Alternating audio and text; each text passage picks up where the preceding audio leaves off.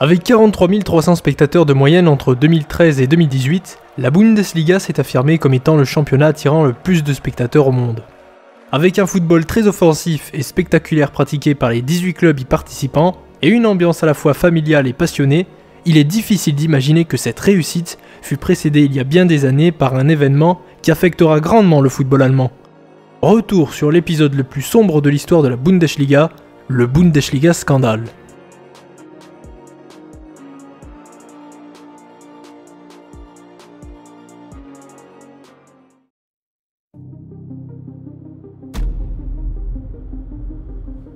La saison de Bundesliga vient de se terminer la veille et le Borussia Mönchengladbach remporte pour la deuxième fois consécutivement le très convoité Meisterschall.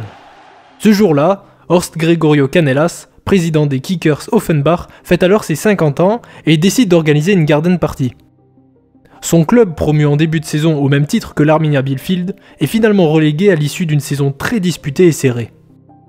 Ayant invité des journalistes, des dirigeants de la DFB et même le sélectionneur de la Mannschaft Helmut Schön, Canelas décide de faire une drôle de surprise à ses invités. Il dévoile alors un enregistrement audio où l'on entend des joueurs du Hertha Berlin et de Cologne discuter de montants pour l'achat d'un match de championnat.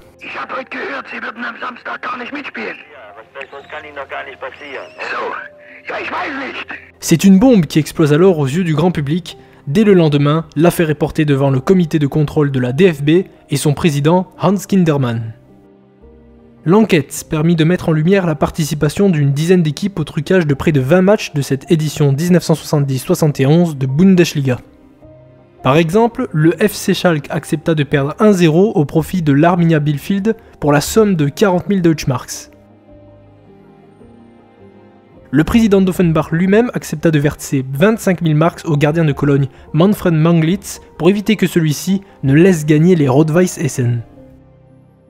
Pour le dernier match de la saison entre le Hertha Berlin et l'Arminia Bielefeld, ce fut une guerre aux enchères entre Offenbach et Bielefeld qui fut effectuée afin de garantir le maintien de l'une des deux équipes. À ce jeu-là, le Hertha Berlin céda à l'offre de 250 000 marks effectuée par Bielefeld, ces derniers l'emportant finalement 1-0 et assurant leur maintien en Bundesliga. Après deux mois d'enquête, les premières sanctions tombent. Plusieurs joueurs sont condamnés à payer des amendes de l'ordre de dizaines de milliers de Deutschmarks et ces derniers seront bannis à vie de la DFB et de la sélection allemande. Ce seront en tout une soixantaine de joueurs, entraîneurs et dirigeants qui seront condamnés durant les deux années qui suivent, les sanctions étant variables entre amendes pouvant grimper jusqu'à 100 000 Deutschmarks, retrait de licence et interdiction de jouer dans un pays étranger pour une durée déterminée. La fédération, reviendra pourtant sur cette décision à partir de 1973 en permettant à une grande majorité des joueurs épinglés de reprendre leur licence et évoluer de nouveau dans le monde professionnel, tandis que seule une poignée de joueurs et dirigeants furent définitivement écartés du monde du football. Les joueurs du FC Schalke furent les plus durement sanctionnés pour avoir parjuré lors de leurs audiences. Au-delà d'une simple infraction au règlement de la fédération, il s'agit d'une violation délictuelle du droit allemand pouvant entraîner une peine de prison ferme. Les joueurs de Schalke seront cependant pardonnés durant les 5 années qui suivirent, la plupart des joueurs étant même autorisés à rejouer au bout de 2 années de purgatoire. Mais ils n'empêcheront pas les moqueries et huées subies par Schalke les saisons suivantes, le club étant même rebaptisé FC Meinheide. Mais pourquoi tous ces joueurs ont-ils cédé à la tentation? Pourquoi risquer de telles sanctions pour des sommes n'excédant pas 4 mois de salaire? Le fait est que le professionnalisme ne fut instauré que 8 ans auparavant en Allemagne, et il n'y avait pas de seconde division professionnelle, seulement des ligues régionales.